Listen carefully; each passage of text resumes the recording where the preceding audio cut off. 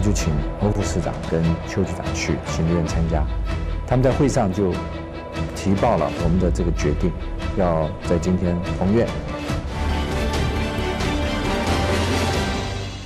欢迎收看《台湾最前线》，我是许荣江。布桃院内感染风暴，原本外界担心疫情可能大爆发，但昨天本土跟境外都没有新增，今天也是没有的。那就代表病毒扩散到此为止吗？还是可能在哪里蠢蠢欲动呢？指挥中心昨天扩大回溯五千名的相关接触者，近三千人隔离，社区裁减了八人，这范围涵盖了全台，所以疫情不是只有桃园的事哦。而这个布桃内部病毒还在不在呢？没有列为红区的护理之家能安心吗？前进指挥官王必胜说，整栋病房已经环境裁剪阴性了，所以这代表没有风险吗？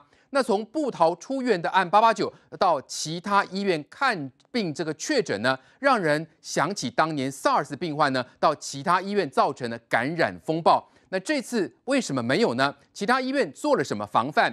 这个懊恼哪个环节出错的按八三八医师目前没有症状，那传给医师的按八一二现在状况如何呢？正当疫情紧绷，指挥中心谨慎应对的时候，蓝军一路批评，吴思怀怒呛：过年到了，家事谁做？谁去买菜？脸书呢被灌爆。今天他又批政府只看到见招拆招的慌乱，等江启臣贴出挺防疫英雄，风雨同行，这让外界感觉有点错乱。蓝军有在挺吗？邱淑媞炮轰指挥中心防疫没逻辑，反被外界打脸。当年和平封院造成的悲剧，马班也说当年是中央下令，地方执行啊。糗的是，影片曝光了，马英九亲口讲封院决定是他做的，怎么现在推给中央呢？这样对得起牺牲的和平医护人员吗？另外，台美中局势发展，习近平昨天说互利共赢，拜登会相信吗？英美两国签署联合航舰部署协议，要维护印太航行自由。北京呢，这个部署大批的新型中长程的弹道飞弹，并且密集训练。最新的情势发展，今天我们节目中都有深入分析。先叫来宾，在我右手边地位是民进党立委庄瑞雄，大家好，观众朋友大家好。好，再是民生医院院长刘一莲，主持人好，各位观众大家好。还有财经专家邱敏宽，大家好。好，再是政治学教授范世平，大家好。好，还有国民党文中安副主委黄子哲，主持好，观众朋友大家好。对，资深媒体人陈敏凤，大家好。也资深媒体人王瑞德，中江后，大家好。好，那么稍后还有星光医院副院长洪子仁会加入讨论。先来看今年疫情的最新说明。那本土的案例并没有增加哈，那我们这个八八九跟八九零在医院的相关的入境、相关的血液的检查哈，那还进再进一步的厘清。布桃医护群聚案连两天嘉陵，疫情没再扩散，预计五千人已框列三千两百六十二人，包括回溯两千四百八十一人，原来找不到的二十三人，现在只差一人。详细隔离分布，桃园最多五百二十六人，新竹十四人，新北。十四人，其他都低于十人。民众打报一九二二专线状况终于减缓。因为一天进线呢一一万八千多通，应答率只有百分之七十五。昨天半夜到今天早上也进线了三千一百八十七，但是现在的进的应答率已经到达百分之九十哈。至于布桃内部还有五百三十四名医护人员坚守工作岗位，对应八百病床，剩下一百三十六名病人，量能足够，只要做好分仓分流，落实清消。就算共用电梯，感染风险也很小。有隔离，那未来会陆陆续续回来。目前好像还没有。那所有的医务人员，当然在隔离期满都一定要再裁剪过。好，我们看到今天指挥中心最新的说明哦，今天是没有新增案例哦，大家是不是心口的这个压力呢，可以稍微松一下呢？好，但是现在监控的人数非常多，因为呢接近过年时间，还有非常多的国人。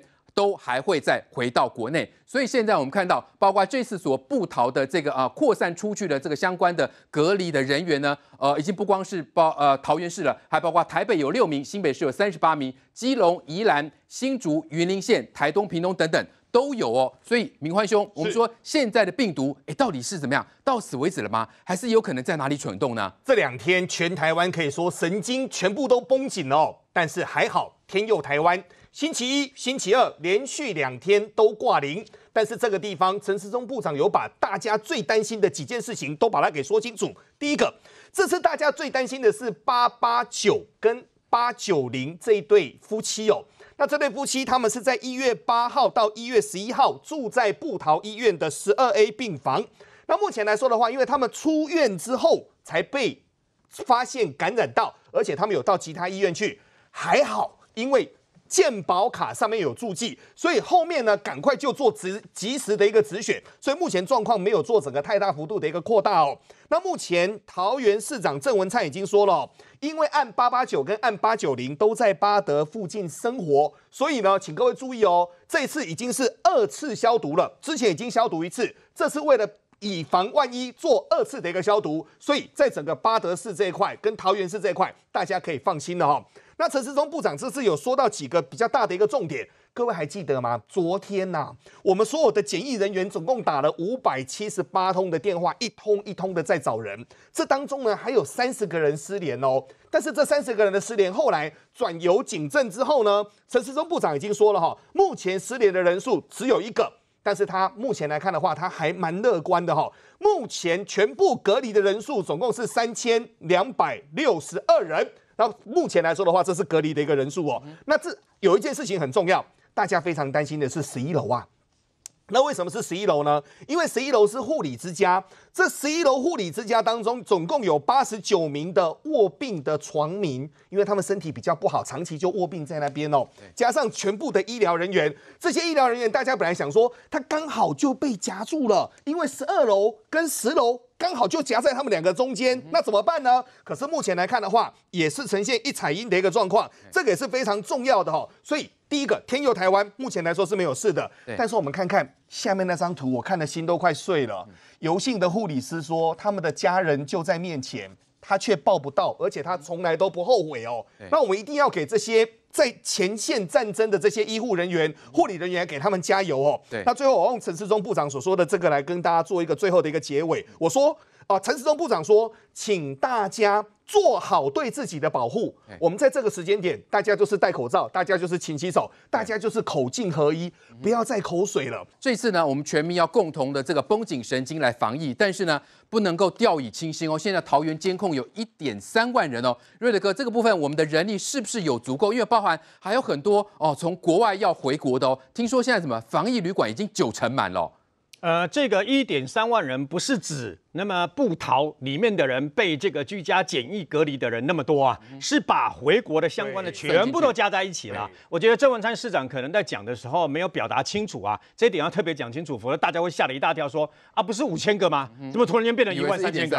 啊，大家会有这样的一个是把国外的算进来啊？对，那事实上现在呢，因为一天都呃四五千四五千的这个海外，包括台商，包括来自于世界各国的这个呃台湾人呢，那么回国，然后居家检疫十四天啊，准备回家过年嘛。啊，这个时候本来就是高峰期哦，所以这些人居家检疫，他们没有错，那么也没有不是把不要把他们当做洪水猛兽，但是必须要恪遵居家检疫的这个原理。为什么呢？你看台中那个啪啪照，啪啪照还可以开着什么特斯拉到处去，还把兼买咖啡，然后呢事后还要可以跑下来跟管委会的这个呃主委的这个吵架，这岂有此理啊？不可思议啊！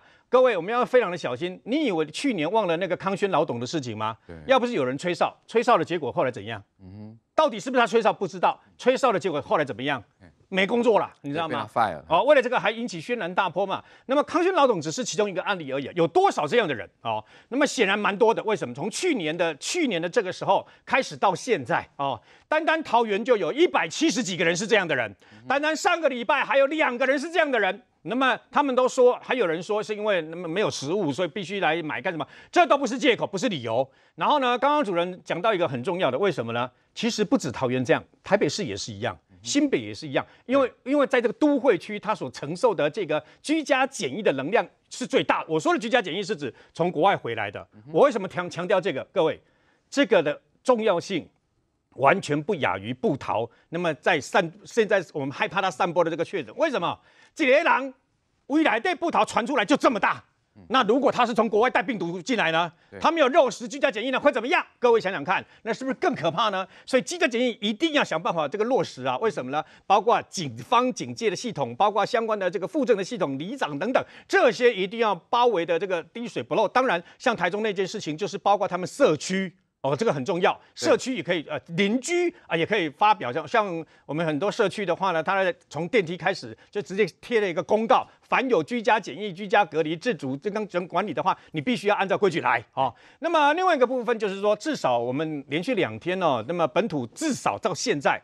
两天我们是可以松一口气，但还不能全部松懈。对，这个过年前后是一个关键，为什么呢？为什么往呃阿中部长说的二月四号，我们必须一直往后推？因为到最后一个确诊者再加十四天，也就是说他不断的往后延，我们要确保这个病例如果都一直都没有，然后呢已经过了十四天都 OK 哦，大概就就就。这一波大概大家可以这个呃平平安逃过了哦，但问题就在这个地方。那么目前为止啊，大概是跟这个案子有关系的居家隔离的这个是三千两百六十二人呢。我看了一下，那么大概。在这个呃布桃里面呢，还有社区啦等等啦，还有回溯管理的人呢，这些全部加起来现在是这样啊。那当然还有一些自主管理，因为自主管理它就是啊，不要到公共场所，比如比如说餐厅了、卖场啦啊，不要搭大众运输系统，这样就可以了。不要跑去聚餐。对，它没有那么严重啊，它没有那么严重啊，就是大大家小心一点，因为呢啊，你毕竟曾经接触过不是确诊病患的相关的人，对，而这些人这样子啊，那么。大家不要太紧张，但是还是要把口罩戴上。那现在呢，不逃是重点。那么这件事情等于说，其实是给我们一个很大的一个教训。对，一个小小的洞，一个一个破口，竟然到现在还没有人知道到底是为什么。第一第一例的这个确诊的医师他无症状，可问题是，他到现在自己还想不起来到底是哪个 SOP 出了问题呀？对，所以呢，从现在目前为止，至少两天好消息，金嘉玲，金嘉玲啊，那对大家都是一件好消息，但是绝对不能掉以轻心。为什么？因为你不要忘记，第一例就是无症状，万一有人是无症状的话，那该怎么办？所以。反正这个病毒很简单，就是十四天锁起来，然后呢居家检疫、居家隔离，那么你的传染力就会降到最低。对，原本外界担心这次的布桃院内感染可能会这个变呃变成一个大扩散，所以现在连续两天没有本土病例，代表是什么样的一个情况？要请教刘院长。呃，现在的疫情最新发展到底是如何呢？这个病毒是有可能在伺机蠢蠢欲动吗？还是说现在是可以稍微安心呢？这个观察期要到过年后吗？呃，我们刚才所提到的这个病毒，我们还一直在找它的源头哦，是怎么这个有地方会什么一个破口哈？啊，但所以这个病毒可以发现，我从一直在强调反复，这是一个很新的一个病毒，我们不能再用一个 SARS 那时候的照顾的思维，所以就从它在本来是在内科病房呢，为什么会传染到外科病房的部分，就可以看得出来它的传染性已经提升到三爆。三到八倍的部分，所以是非常庆幸的是，这两天是零个案啊。不过个人我也在我们医院里面也接受有关桃园卫生局的裁剪的通知的部分。其实我们一直担心，一直都还有一些通告来我们这边做裁剪。我举个例子，昨天我们就该有采的一百多位，哦，所以。然后采了一百多位，我们都是阴性，所以我本来就预计说今天应该是应该是零是零哈。哦，OK。啊，不过我们还是很担心，包括刚才大家比较关心的说，呃，八八九到另外一家医院去，啊，另外一家医院我们也是在严厉的、严格的是在那边那个监控当中，因为。他进去或是不是进去做治疗，或者是在外面做，再就被转到其他医院哦，这个可能要再做厘清。不过他是有接触到那家医院哦，所以是这样的。有关他们框列在做裁剪部分，目前都还在进行。那时间点可能还要再往后延。如果我们是真的是这段时间。我也非常呼吁我们所有的全国的观众们，真的是务必站在我们医护的这一端，最好帮助我们的方法，就是勤洗手、戴口罩，是。避免哦。避免群聚，对，保持社交。那院长，因为现在就说外界担心那十一楼的护理之家啦，现在一呃一采也都是阴性，哦，只是说因为它是夹在。这个呃楼层当中哦，那因为这个指挥官这个前进指挥官王必胜说，已经做环境的这个消毒，也裁剪是阴性了，这是代表可以安心了吗？也就是说，现在院内呃是没有红区了吗？是都是绿区的吗？从因为从知道这病毒会在环境受传染，大概时间点我们大概顶多大概几天的时间了哈，比如是在塑胶大概两天。不锈钢的时间纸钞大概就一两天就消灭了啊，所以我们会做全面性的消毒。从这一点的话，我们十一楼真的那时候也会比较担心，因为从在七楼、八楼到十二楼中间，十一楼就在中间，所以这整个环境是不是已经被铺落到被污染的话，是相当的担心。所以这时候呃疫情指挥中心再从十一楼做清消，这是非常正确一个决定。而这样去做测断测定的时候，现在都是地区的报，我们是稍微非要比较安心一点。这样的情况对于医护人员是不是呃布逃的医护人员是不是也相对是一个保障？哦，就比较不用担心，因为进住进去。哦，因为感觉上像是封院进去，就说还有被感染的风险。现在目前所有的是绿区的状态里面，现在我们当然知道里面有医护同仁要还要照顾像一百九十位还没转院的病人当中，里面当然是相当的辛苦。他们现在都还是一个健康的医护人员哦，所以我们希望我们大家也希望一起来给他们鼓励跟支持哦。我相信说这段时间能够在照顾这一百九十位，因为有些是呼吸。需要呼吸器的病人，有些是安宁的病人，还有加护病房的病人，还有一些是一些介护啊，就一些建议的。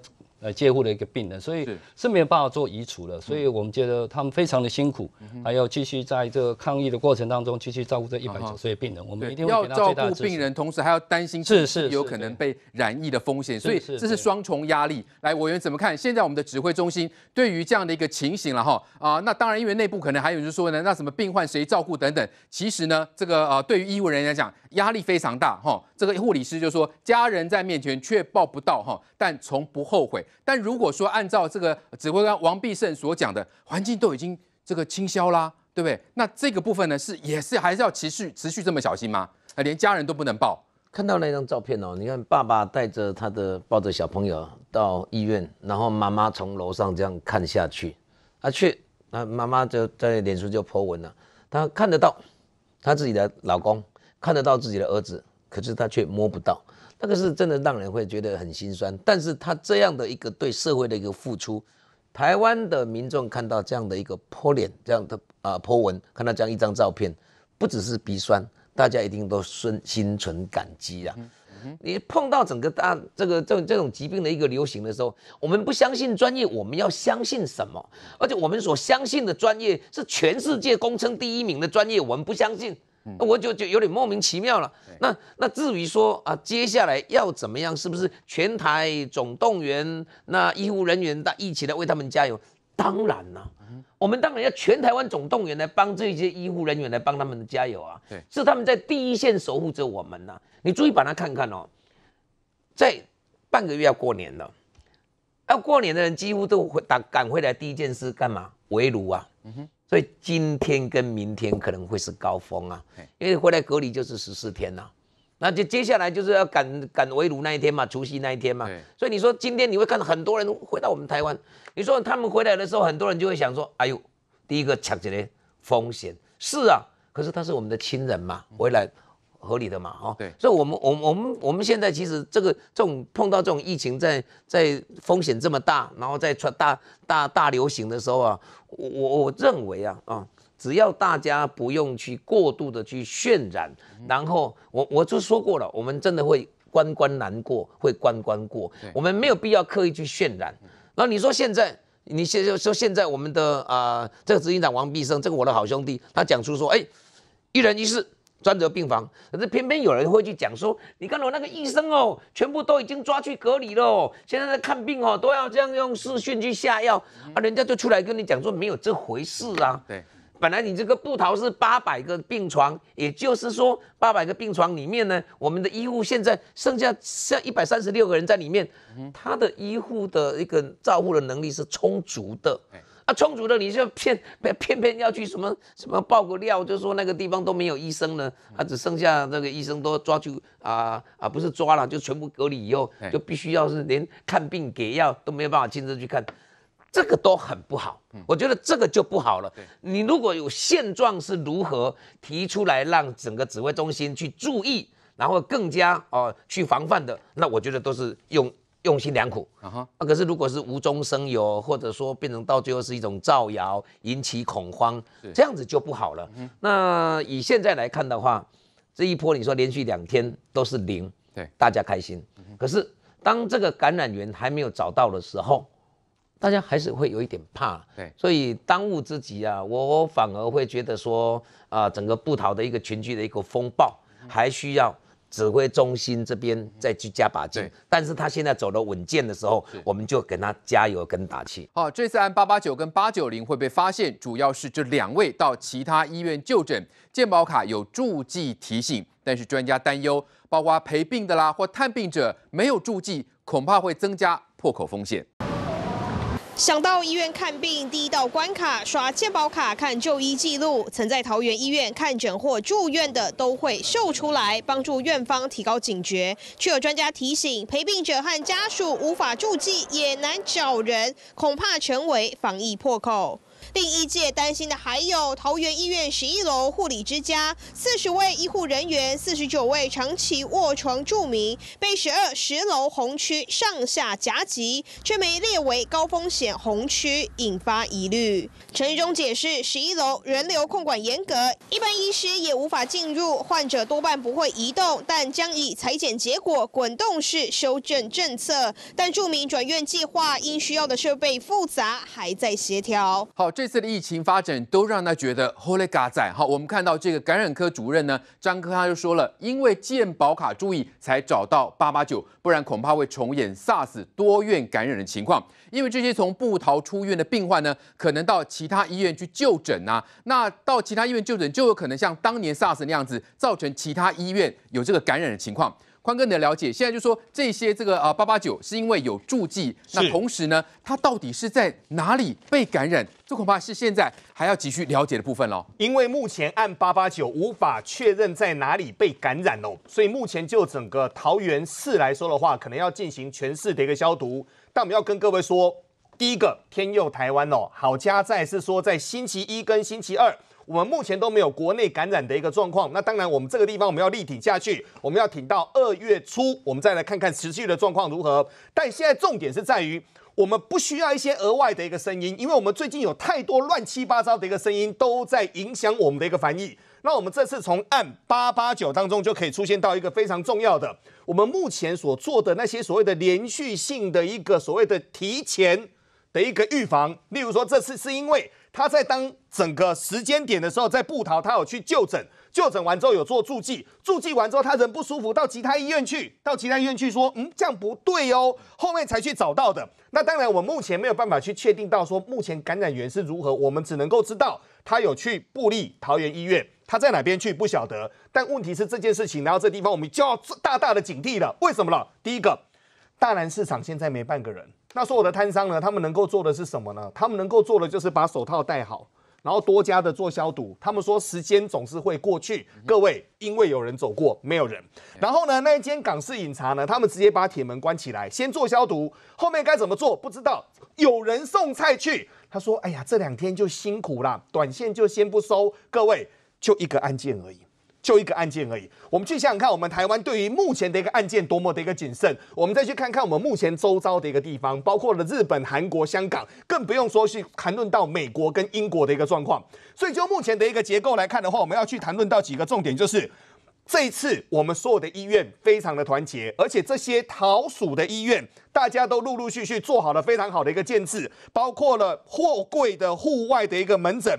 包括很多地方开始做整个分仓分流，都来做隔离。对，我们绝对不能够让过去和平医院的事情再发生。但是我们这次从很多的状况，我们可以发现到，对，没有错，有漏网之鱼，他可能也在外面走。但是目前来看的话，连续两天就做清零，我们目前还在隔离当中，我们要为这些人来加油打气。我最近有朋友的家人，他就是之前曾经在布桃就就医，就医完之后本来都已经回到家，回到家完之后。现在就接到了整个一九二二的提醒，说要在家做隔离。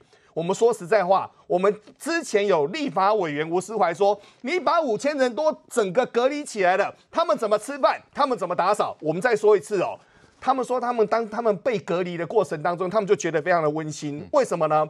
包括了李明关怀系统，包括了整个医疗系统等等的，你有任何的需要，都可以打电话直接跟他们做服务。对，他们非常非常的繁忙，但是我们再跟各位说一次，这个时间点，虽然桃园有非常多的人需要做追踪，但是我们目前从上到下团结一条心，医护也一条心，在做整个李民关怀这块也都一条心。我们认为这次的战役我们能够挺过去。对，的确，呃，这次的这个防疫真的是需要全民一起来哦，因为现在的这个感染是有这个担心扩散到社区，不过也还好，这案八八九是因为有健保卡的助记哦。好，那当然就是说健保卡的助记，我们稍后请教副院长。我先请教瑞德哥，也就是说，那没有助记去陪病者呢？哦，或者去探病的人呢？那这些是不是有可能就成为那防疫的破口呢？对，没有错。所以事实上呢，中央流行疫情指挥中心呢，那么有拜托那么警政系统介入。警政系统介入就是要去联络那些比较难以联络的人。对哦，那因为呢，来看来这个住院的人呢，来看病的人呢，不管门诊、急诊等等，你都会用到健保卡。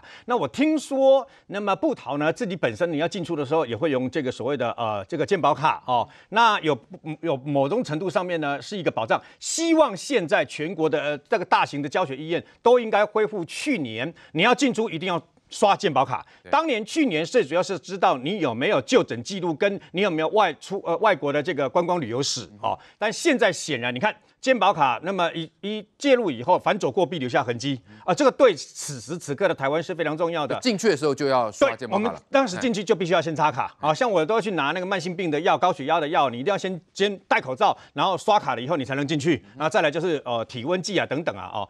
那么八八九啊，问题就在这个地方，它到底是怎么得的？现在能查尽量查，但是。不要把所有的心血放在查他到底是怎么感染源来的，因为除了飞沫传染之外，可能在环境的污染也是一个问题啊。所以呢，你可以发现，我记得呃，今天看到一个报道，在中国的一个医院的把手上面。验出来有这个阳性的这个反应啊，等等啊，所以他们针对啊医院的相关，包括把手了，包括很多都进行相关的消毒啊。就在中国自己本身的例子，也就是说，你反走过必留下痕迹，这个病毒会在很多地方，所以我们才叫大家戴口罩，避免飞沫，然后你的手不要去摸你的口鼻眼，哦，避免去接触到嘛，啊，这是最基本的嘛。那现在呢，他们为什么会得？啊，这是一个问题哦。可是重点是。如果真的查不出来，就不要查，就不要不要去查了。为什么呢？现在要做的是补破洞，而不是去知道他他为什么得的，为什么得的？因为很简单，你可能永远都不会知道。各位。全国八大行业因为一个酒店小姐，台北市一个酒店小姐得了这个确诊，所以不是全国八大行业全部停吗？对，那也是一个谜，到现在也没人知道啊。对，有好多好多的传说，是不是客人传给？一定有一个呃感染源会传染给他嘛？但不知道那个感染源到底是谁，没有人知道啊。是不是无症状感染者，还是没有人知道？好，我在我们去年的本土的这个确诊案例里面，有好几起完全都查不到他有任何的感染源。还记不记得有一个呃个太太，她不是常常去公园，还会去唱卡拉 OK 吗？对，她到底怎么感染的也不知道啊。所以当你没有办法知道，我们尽量去查，查不出来的时候，你疫为什么做疫调？疫调是。避除了查出他到底怎么得的之外呢，避免他走过的痕迹呢？至少我知道一件事，不要让他他已经确诊了，不要让他的足迹会把这个确诊病毒的带出去嘛。就就我们现在做的这个事情是这样子，所以才会为什么说，包括居家隔离、居家检疫、自主健康管理超过五千个人，现在只要你乖乖的按照这个做。那么这场风暴就像今天一样，昨天加零，今天加零。如果两个礼拜都加零，这场风暴就过了哦。对，所以呢，事实上，但是也给我们一个教训了。为什么呢？因为显然对付这一波的病毒，尤其是变种病毒啊，我们不能用去年那么对付纯呃纯武汉中国武汉肺炎病毒一样，我们必须要把它提升规格更高。哦，过去十五分钟才会染，现在可能五分钟搞不好就会传染，甚至于他搞不好走过去的时候，那些病毒摸过了什么地方，他喝饮料干嘛，这些都有可能会造成这个传染，所以我们要料敌从宽呐。所以我在这里郑重的呼吁哦，大家不要过度惊慌，但是也不要。好像我到现在还有看到，在公共场所，在很多的地方啊，在这个等于说超商那里，还是有人坚持不戴口罩。你看，还有那个脸在公车上跟人家吵架，还有那个还有居家检疫的人呢。有一件事情要特别提醒，为什么呢？你看哦，从医院露出来的这个洞，就可以造成这么大的轩然大波。对，台中也好，桃园也好，还是有继续有人应该居家检疫拍拍照。台中那个。呃，那卢秀燕市长，你罚五十万会不会太少啊？他太恶劣了，直接罚一百万，恶性重大，你知道吗？所以呢，如果他们源源不断的回来，不管是从世界各国哪里回来，源源不断回来，还如果他们身上刚好就有类似的病毒，而他们是无症状感染者的话，我问你嘛，那天天天呐，那真的是天佑台湾呐！所以我们必须要更加的落实对这些呃回国居家检疫十四天的人，不能让他们跑跑对照。，现在防疫是全民要一起来，全民要动起来。只是说对于这个八八九的隐忧，让人家担心。当然，就疫调的部分呢，呃，也许这个指挥中心有人力就去进行，特别是这个病毒的足迹。那包括呢，现在这个他所活动的区域，那郑文灿市长已经要进行二次消毒，因为这两个案例呢是在桃园跟巴德两个地方呢活动密集。不过就医院的部分，我要请教洪副院长，现在进入医院是不是都要有这个健保卡？插卡就如同刚刚瑞德哥说，才能够进去。那有一些医院难道没有做到吗？我想哦，现在各大型医疗机构哦都有这样的一个机制啦。哈，事实上我要在这边讲说，我们的健保卡从去年 COVID-19 以来哈，扮演一个十分重要的一个角色哈。所以我觉得在这个部分，未来我觉得国家在对健健保署哈，在这个呃这个健保 IC 卡的后后端的这个电脑的购置跟方面，可以再多一些哦一个投入。哦，怎么说呢？大家记得去年我们这张健保卡从一开始的口罩预购。对不对？大家还记得一开始的 TOCC 十四天内有没有你有没有到国外旅游？你有没有是居家检疫的个案，都会注记在这个电在这个健保卡里面。是所以现在进到医疗机构里面，你健保卡只要一插进去，如果你是被框列为自主管理的，或者你有到布桃的这个就医室的，一插进去它就会亮亮出红灯，哦而且会拔逼跳出来哦跳出来，就会警报声就会响起。哦啊我们后端的工作人员就会去看一下，哦就知道了就可以知道他的状况。我们的健保卡里面，事实上这张健保卡里面所有的你的就医记录，甚至你的影像，你照过 X 光，你照过 CT、MRI，所有的影像、用药记录，全部都在这个卡里面。所以再结合我们现在有个叫健保的这个快易通，就在 APP 这两个。互相的一个运用，事实上已经提供我们在这次防控作为上一个很重要的一个守护者哈。但是呢，这里面我也要跟大家提，跟十七、十八年前的 SARS 比，大家还记得当年有个林姓的妇人，她到林，她到高雄长庚医院去急诊，结果呢，他没有很诚实的告诉他有在台北的这个林口，呃，有在台北的和平医院的这样一个记录，就后来就导致高雄长庚医院的这个院内感染的一个事件。所以我们可以看得到，现在这个已经是 IOT 哦物联网的一个时代，我们怎么样透过这个健保卡的资讯的一些注记。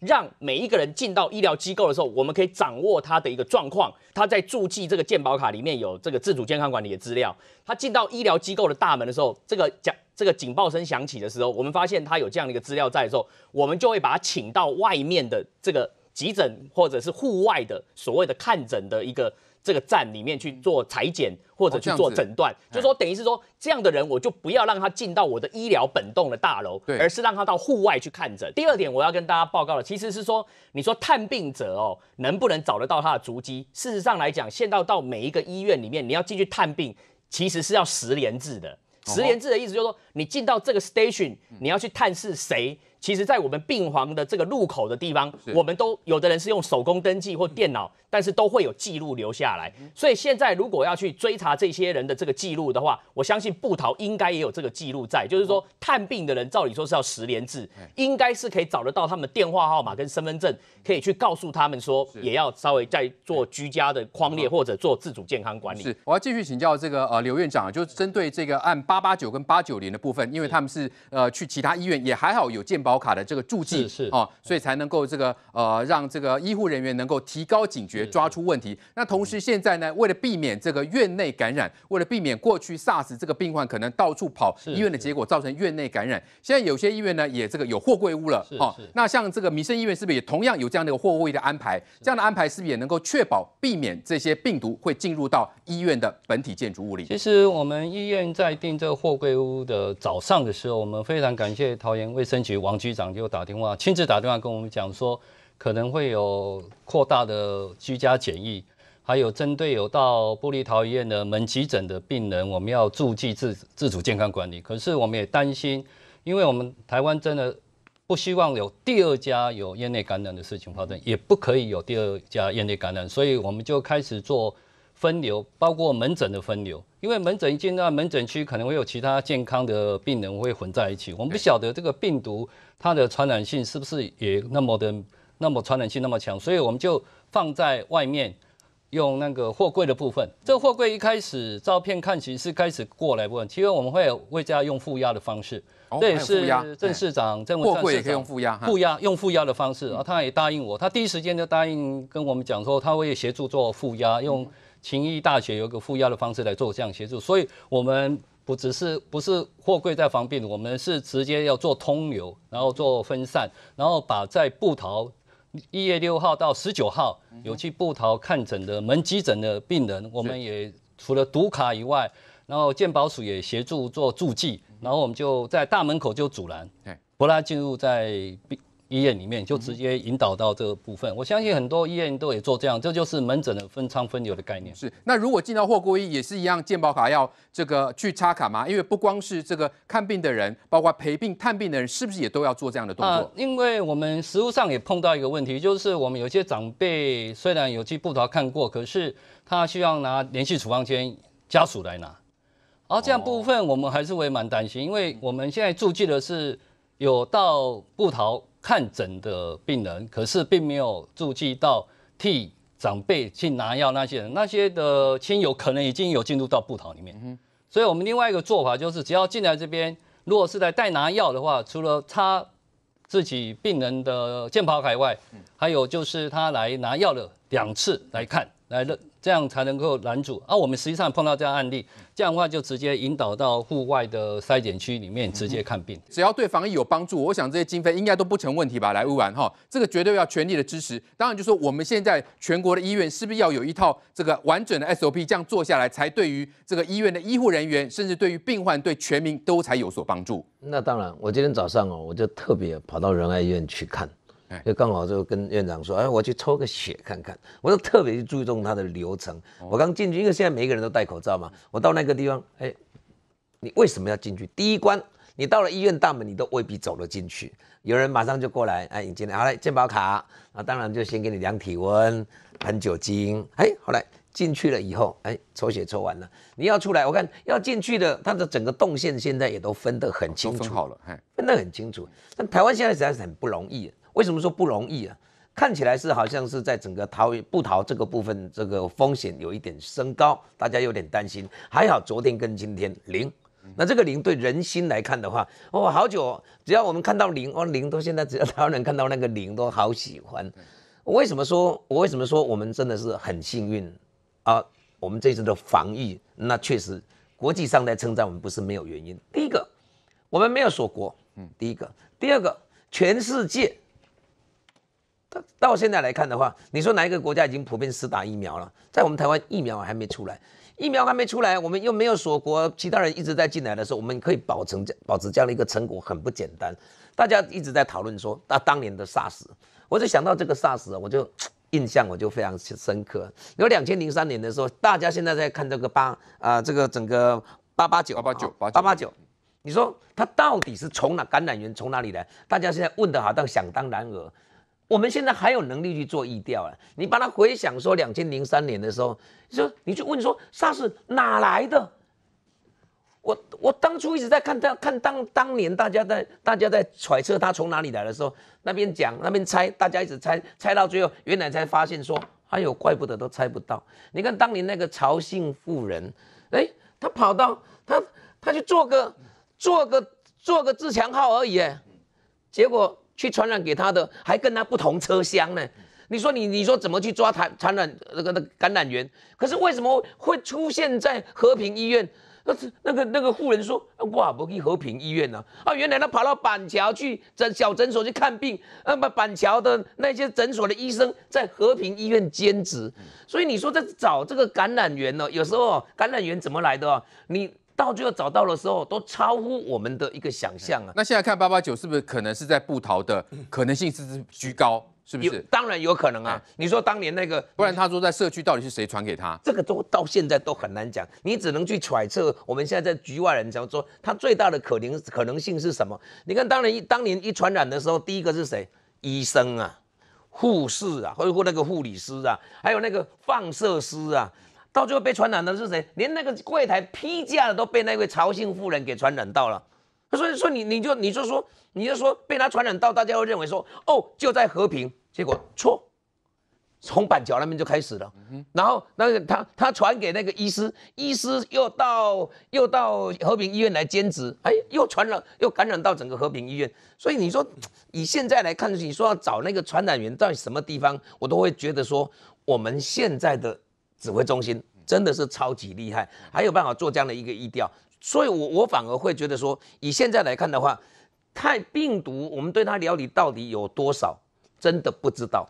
但是呢，真的要去相信这些专家所组成的一个指挥中心。对，我们也可以讲说，关关难过，我们关关过，我们一关一关在克服。在昨天之前，大家想说完蛋了。布桃发生这么重大的一个事情，一框就框了五千个，你看多少人出来，多多少人在紧张啊？有人在趁火打劫，他就跟你讲说啊，那谁去谁去帮忙买菜，谁去干什么干什么，讲这些都有点风凉话了。所以我反而会觉得说，以现在来讲的话，台湾我们现在啊，大家已经绷紧一个神经了，政府全力去投入，我们民间，我们身为这一块土地，我们在这边所有生活的人，我们都希望我们这个环境可以守我们的家园。可以守护住，所以我反我我在我在想呢，以现在医院的动线来看的话，它现在是越来越把那个漏洞补的越来越小。可是你说完全补到了吗？不知道啊，你这这个超乎我们的想象，哪一个地方？像像前昨天陈志忠才在讲说哪一个地方哦，那个地方是一个小缝隙，我们期待这些小缝隙有哪一些地方我们还没有想到的地方，全部都把它做一个围堵。毕竟这个病毒哦。它也不是人呐，那病毒你看都以以前我记得 SARS 那一验出来什么一口痰里面的病毒含一亿万只病毒，那这是是要吓死人呐。所以我会觉得以我人类有知的一个知识里面，我们防疫到现在跟各国来做比较的话，那各个险单机的指挥中心，各险单机的监护哦，我干嘛的看不良心吗？好，再来看这个，当邱淑媞呢批评指挥中心防疫没逻辑，被外界骂成一片。那马办呢也来助阵啊，说当年和平医院封院呢是中央决定，地方执行。结果呢马上就被翻出，当年呢马英九亲口说是他下的决定。二十四号中午已经封院，就远距视讯会议就进行面面对面的讨论，把我们。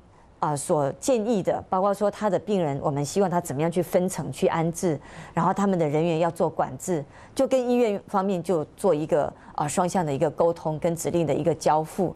到了中午，我们所有的大家人的心情又跌到了谷底，这样，因为从开完会下来，哦。一些主管哦，不止一位的主管说，他们所传达出来的讯息得到一个共同的场景，就是当我们把我们的所谓的专业医护人力的需求跟配备的不足反映给这个局长的时候，局长的回答居然是说他无能为力，他爱莫能助。我们这些医护主管就觉得说，怎么可以这样？然后就拍起拍桌，然后跟他这个有一些争执，而他。邱局长居然就当面指责我们的这个吴院长说：“吴院长，你是这样管束你的下属的吗？”那我就觉得说，真是匪夷所思。他这时候还用一种长官的心态，高高在上。四号早上，我在市府举行早餐汇报的时候呢，找了邱局长跟吴院长和平的吴院长来，就做这个决定，要那个时候没有封院这个名词，而是要全面的管制人员进出。我们开完会的时间大概九点多一点，就接到行政院刘世芳秘书长的电话，说副院长林信义先生要举行一个会讨论这个问题，我就请欧副市长跟邱局长去行政院参加，他们在会上就提报了我们的这个决定，要在今天逢院。好看完影片，大家有没有觉得原来真相就在这里？当邱淑媞、当马英九说当初是中央决定，地方执行，所以呢，刚刚的影片来瑞的哥是不是一刀毙命来？呃，这件事情啊，有一位泛蓝的名嘴说啊，现在去讲十八年前的和平封院的事情呢，对现在的防疫有帮助吗？那么他这样的一个讲法，就好像，请问一下，现在去讲过去在白色恐怖统治时期跟二二八事件时期被杀害的无辜的，帮他们平反，呃，对现在有帮助吗？意识一样的荒谬。真相非常的重要，为什么呢？我们现在防疫非常的重要啊，这防疫归防疫，但是十八年前和平医院的真相也更重要，为什么呢？你知道马英九在这整个纪录片的最后面。他做了一个总结啊，那么为他自己的一个行为做了一个总结啊。马英九说：“我觉得封院的部分，我倒不觉得有什么严重的过失，因为没有因为封院而造成更多的死亡，然后封院之后减少了社区的感染，这个太明显了嘛？你知不知道，全台湾在 SARS 的这个等于说呃期间呢、所造成的一个重大的大概有三百四十六个人感染，七十三个人死亡，和平医院，嗯因为你的封院，总共有一百四十四个人感染 SARS。有三十一个人死亡，其中有七个是医护人员，然后还有一位受不了压力，所以在和平医院里面直接寻短死亡。你说没有造成更大的一个死亡？天哪！这三十二条人命，他们家妻离子散、家破人亡，要跟谁要去啊？对，为什么？林仲威，林中威的这个这位医师，六十四年次，十八年前他本来准备要结婚了，而且已经六月的时候要转到其他医院去了。他在和平医院，很可惜的，在没有安全防护的情况之下呢，他受到隐匿疫情，然后呢，他被隐匿疫情，他不知道他面对的是 SARS 的病患，然后呢，他去接触，他自己说，他后来怀疑他们会不会是 SARS 病患，然后就因为这样染煞，最后染上的人不是后来被集体送往国军松山医院吗？呃，他死前死前的呃，包括松中山医跟另外一间医院，他死前的最后一天还跟爸爸妈妈说，啊、用这个写的歌说，我可我还刚刚有喝喝喝果汁啊，怎样？隔天他就走了，走了以后爸爸没办法接受，台北市政府和平医院打个电话给他爸爸说，要不要把他排位入忠烈祠？他拒绝。我的儿子不是英雄，我的儿子是被你们害死的，你知道吗？他还打了国赔的官司，最后国赔的金额还跟他自己拿出来以后，是总共一千万，设立一个儿子的基金会，帮助那些呃那些贫困的这个学童。林宗威只是其中一位啊。我昨天遇到和平医院里面被封在里面的相关的医生呢、嗯，他说有一位大概刚毕业没多久的那、呃没有多久的这个呃小那个小护理师啊，年轻护理师，他本来在妇产科，后来到了这个等于说呃急诊室，有一天到急诊室来，他就问他说：“哎，你怎么出现在这里？我发烧，我不想死，你知道吗？他怕自己会不会得了 SARS。”嗯，很不幸的，他被转到松山国军医国军松山医院一个星期后，他也过世了。好，那么这些人是马英九说的没有因为封院而造成更多的死亡吗？你马英九把这些三十二条人命当做什么？你邱淑媞把三十二条人命当做什么？今天很不想这个去去去讲那个什么政治什么专业什么东西，这不是，这是一个最基本的一个担当。而但现在更多更多的，就因为你们这样讲，你们这样甩锅的结果呢，更多的真相出来了。对今天更多当时的公文，更多当时的影片，一个一个全部都出来。现在是谁去做决定的？刚刚大家看马英九在早上汇报里面讲什么？他说没有封院，但是其实他做的事情都是封院的事。对，告诉各位，封不封院，怎么封，那不是重点，重点是你怎么做。很简单，对你把它集集集体隔离啦，啊，一个人一室啦，然后怎么样？那个是大家你要谁先谁后，重要那是一回事那是一回事。我告诉各位，涂醒哲当时是卫生署署长，涂醒哲的公文告诉你，里面很清楚的告诉你要分流，要疏要疏散，然后呢，你要成立相关的小组进驻到和平医院里面哦。当时公文里面就这样写嘛。对，苏艺人，苏艺人跟涂醒哲总不是呃总总不是那个的吧，Magic 的吧？苏艺人当时回忆，纪录片里面有访问苏艺人，苏艺人也回忆，他当时邱淑媞来找他的时候呢，那么他也提供了三点的建议，差不多 A 栋、B 栋给它分开，A 栋是外科，B 栋是内科，内科收 SARS，你要分开，医护人员要找一个大型的这个呃，就是当年的这个防疫旅馆的意思，让医护人可以进驻。是告诉各位，你没有照做，你知道马英九怎么说吗？为什么没有照做？为什么号称有有相关的专业医护人员，那么进驻到和平医院没有照做？为什么还是和平医院自己在这 say？你知道马英九怎么讲吗？马英九说啊，这是他决定的，何必何必去这个接管他呢？为什么呢？因为他本来就可以自己决定啊，我们帮他忙就好了。你现在知道了吧？我现在要讲的就是，当年这个案子啊，让我们在台北市跑新闻，那时候是媒体主管。指挥属下，然后呢，在这个台北市跑新闻，尤其和平医院封院，几乎二十四小时全部封在那个地方，医护人员无力去求助，只能丢纸条，到处丢纸条，也不知道那个纸条里面有没有 SARS 病菌，都不知道的情况之下，死了那么多人，然后现在一堆人云淡风轻。我看到昨天马办还有今天马办的那个云淡风轻，对。中央下令我们执行，哈，都跟你没有关系吗？你不知道为什么隔年的十二月二十号要修改中央流行疫情指挥中心的相关的办法，就是要把指挥权从把这个传染病拿回来，中央自己弄啊？对，你竟然可以这样做。那么立法院长尤其坤当年是行政院院长了，他是讲了一，他今天很好像很生气的说，呃，良心良心，对。对，良心呐、如果真的有良心的话，十八年后会用刚刚那句话说，没有因为没有因为封院而造成更多的死亡。难道在和平医院死亡这三十二个人是应该该死的吗？嗯，对，所以这个回顾当年的惨况啊，到现在都让人家觉得非常沉重。但是对照邱淑媞跟马英九现在的态度，来范老师这样的态度对得起当年的这些牺牲的和平医护人员吗？我看了这一个和平医院当时员工的话，这封这个文信哦，四张我看了啊、真的是血书啊，斑斑血泪。其实当时这封信是什么时候写的？是在九十二年的四月二十五号，事实际上就就是在我们封院的隔天。嗯，但是你可以看出来，这些员工他们已经看到了很多的问题，但是邱淑媞竟然没有看到，而且他们跟邱淑媞做了反应，视讯会议的反应，邱淑媞竟然置若罔闻，不闻不问。他这边提到，我觉得很重要，他提到一个很重要，他说我们九百多个员工被关在那里，他说完全一点防疫措施都没有做，卫生局防疫科的人员。甚至 SARS 的专家，没有一个人敢踏进和平医院，教我们如何防疫、如何隔离、如何医疗、如何间隔，要他们自求多福、自生自灭。他说，在前一天，就是封院的前当天，他晚上的视讯会议，他说：“邱局长，您听到员工的怒吼，您也看到员工的愤怒，我们大声要求专家进来帮我们。我不，我不晓得为什么邱淑媞就不愿意让专家进去。哎，那你这不让专家进去，你自己进去好吧？你是指挥官，你身先士卒，你自己进去都应该。后来怎么办？找了一个叶金川，前任的局长。嗯哼，所以我必须要讲，他这样一个做法真的是四个字：草菅人命。然后我们再看到他后来终于进去了，带了一个整个氧气罩，全部全部武装武武装，然后哦全身的防防护衣啊护目镜，可是里面的员工呢，简单的连一个防护衣都没有，雨衣用雨衣雨衣，我必须要讲，如果是这样，他不止草菅人命，他还四个字贪生怕死。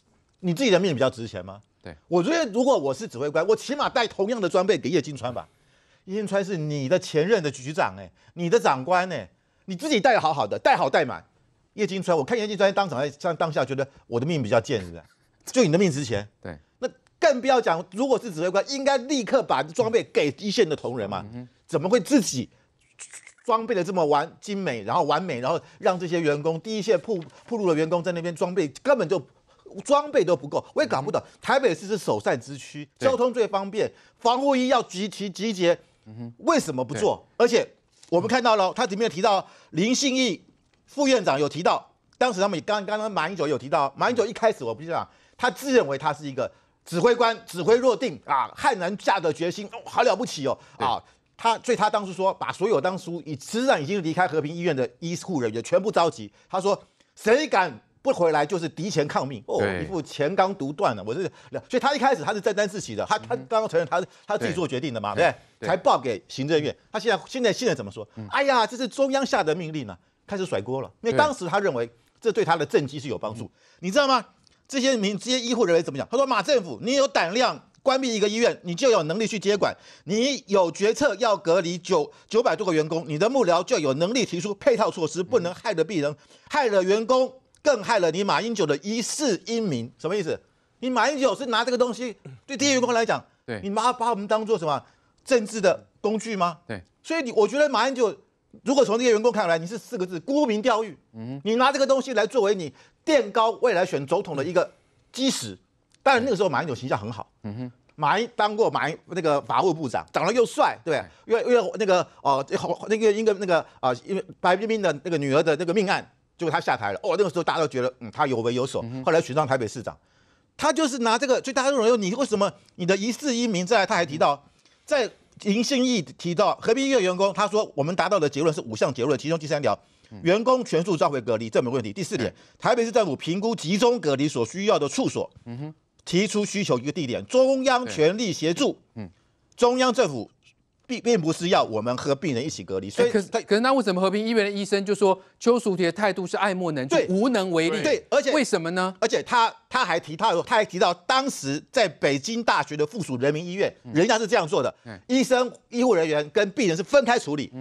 他把它混在一起，所以你看，其实林心已经告诉你，你要找到一个隔离的处所，不是把大家夯不啷当全部关在里面。对。可是，而且要成立指挥中心，也没有成立。所以我我必须要讲，就说，而且中央是说我全力协助你，结果你不去跟中央要资源，对，搞到这些第一线的医务人员穿雨衣，然后他这些他们这部信上说，他说你们，他说我要请教马市长，你是把我们的员工生命当做中央与地方抗争的棋子吗？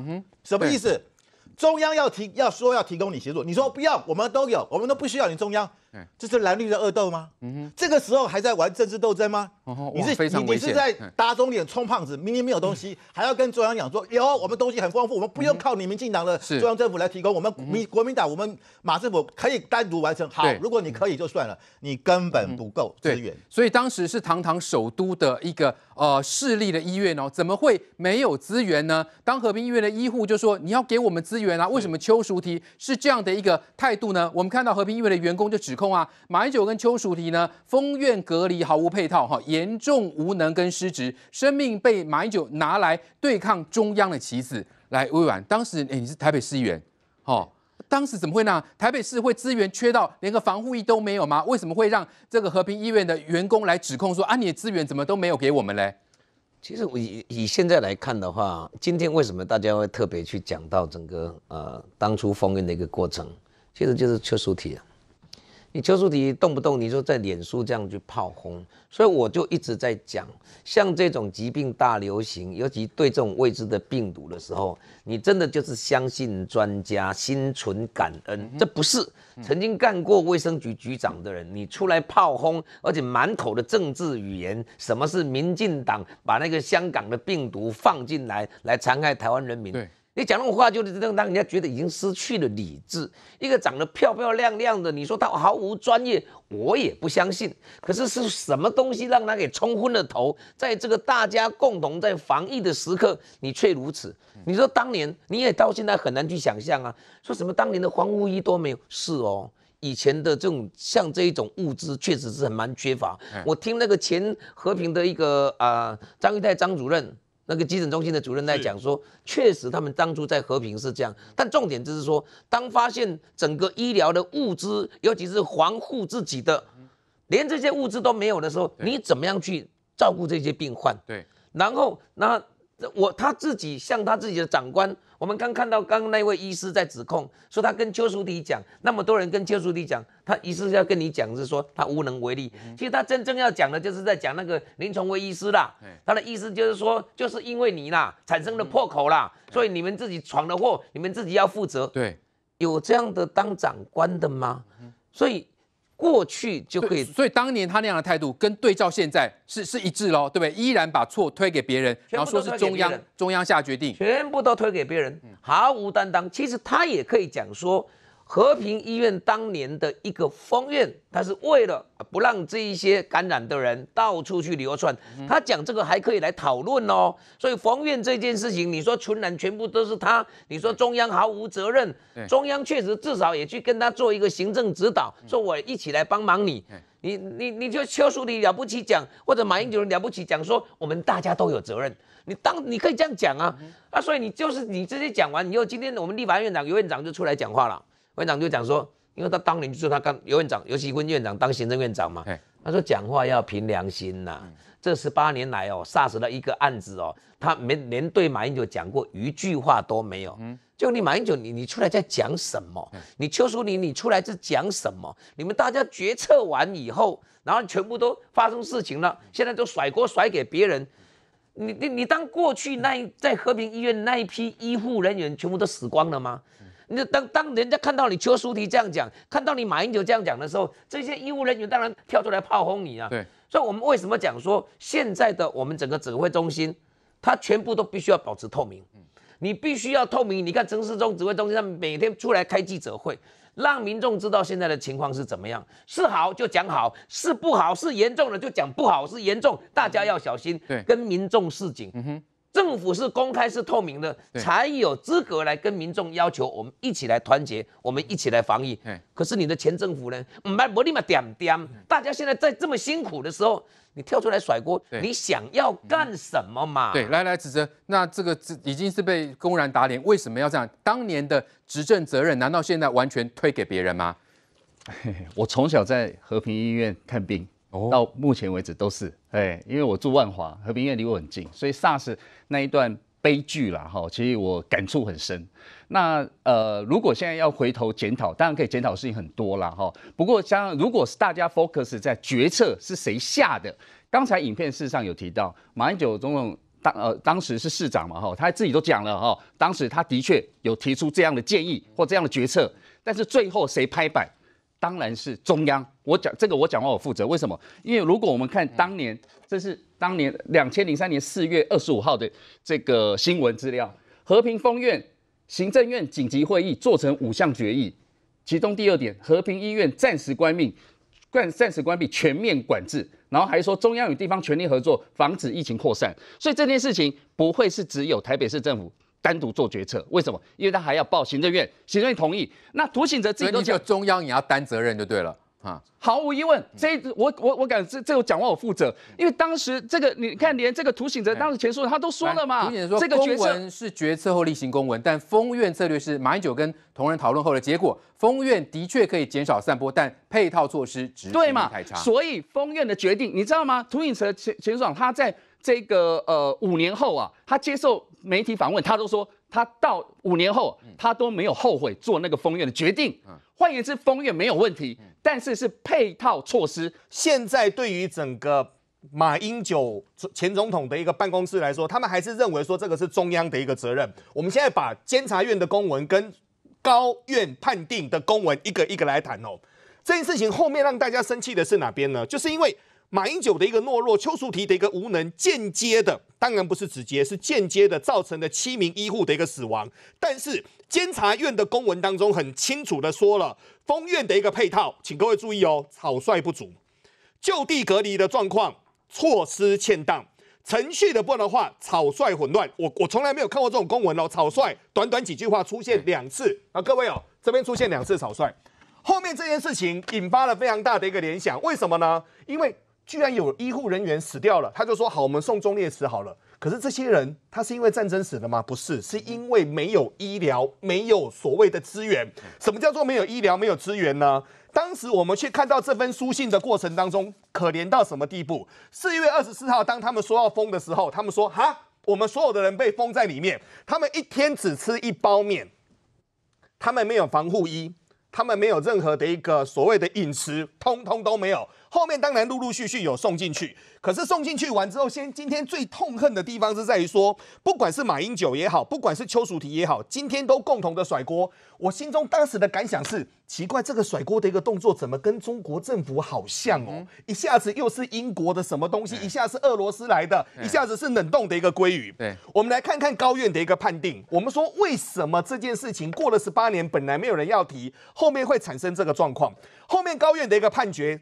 讲得很清楚，四大防护措施全部都疏失，所以请各位听好下面的哈，认定市政府害命，所以是国赔确定，所以后面有没有国赔？真的有国赔，所以后面才有林仲威基金会。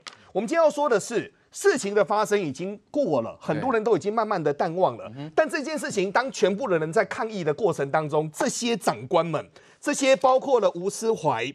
包括了杨志良，包括了马英九，包括了邱淑媞，来到这个时间点，他出来蹭声量。你蹭声量是为了什么？如果说你今天蹭的是正声量，没关系，没关系，可以蹭。为什么？这是政治嘛，这是表演嘛。可是你今天出来蹭声量的过程当中，去把书信，去把监察院的判决，去把高院的判决说出来，问题就是在。那问题就是在的过程当中，今天你出来一推二五六，你怎么能够说服我们这些看到公文、看到书信这些所谓的悠悠众口呢？其实我当时是跑行政院的啦，哦，就说代班行政院，因为我们当时也不能回报社，每天都窝在行政院里头跑新闻。那这版上面一个员工讲话，就是就是最正确的回答，就是这个是马英九拿来对抗中央的棋子啊。其实这个东西，中央因为当时的马英九是如日中天呐，是未来的总统候选人。那对于这个东西呢，中央他对于中央的一些决策，中央明明就已经有组一个专家学者，也有去协助，可是，可是他对于中央这些专家学者意见并不是很听呐。那没有错，就是涂醒哲二四月二十三号左右下这个公文，可是他自己在。在，但他的公文里面是说你要做好所有的准备再去封院，可是他隔天完全没有做准备之下就去封院了嘛？隔天就封了。对呀，那那你看这个份，显然你的准备时间都不足对，那那个是监察院也是都别人写，但是这份报告是当年的六月二十九号左右，就是 SARS 告一段落之后，他提出来向台北市议会做的一个报告嘛，他自己就明确讲到九月二十呃九十二年的四月二十四日早餐会。市长市长的早餐汇报，他要指示最迟要在下午宣布全面管制。当时没有用封院，但是全面管制意思就是封院。那当时就是封院了嘛？那所以说中中央其实都很突兀啦。那但是我也是为了不要在这种疫情上面变成中央跟地方的意见不合，所以中央就就就说好啊，你就先做。那你说邱淑婷，你做一个卫生局的局长。那你当时有这么多的市立医院，当时医生跟你说我的筹备，后来很多员工也曝光，然后这个当时是一周刊的。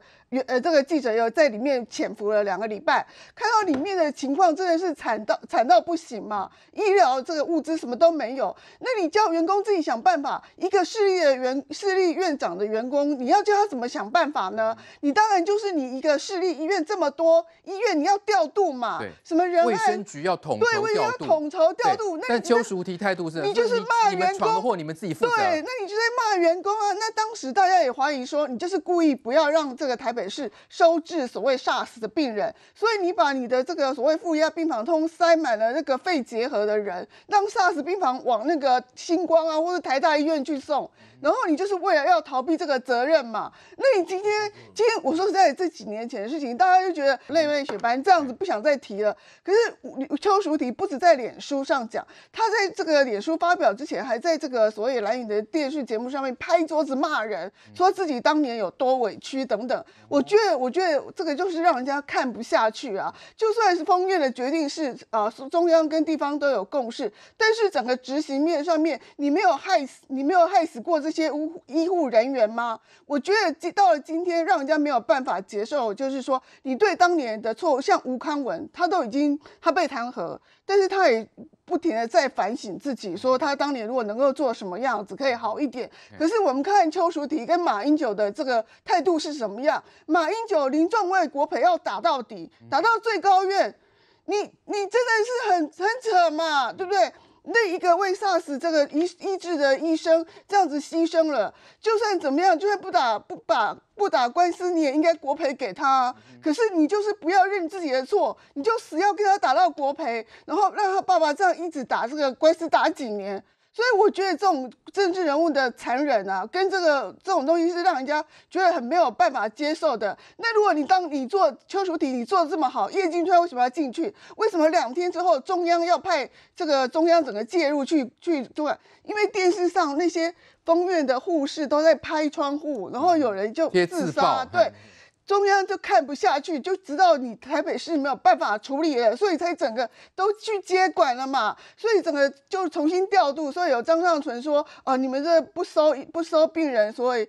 所以，呃，他里面为了台湾嘛，才会哭着说，请别医院要接收 SARS 病人啊，所以就转去台大，转去一些地方嘛。所以我觉得说，当年回顾这个历史，大家有时候大家觉得很惨痛，是整个台湾的一个不可呃不可说的沉重。可是问题是，看到邱淑媞跟马英九这种态度，就让人觉得真的很火大。我觉得，当然我在家里面看还是很想砸电视啊，不过我有理智，因为砸的是我家电视，不是。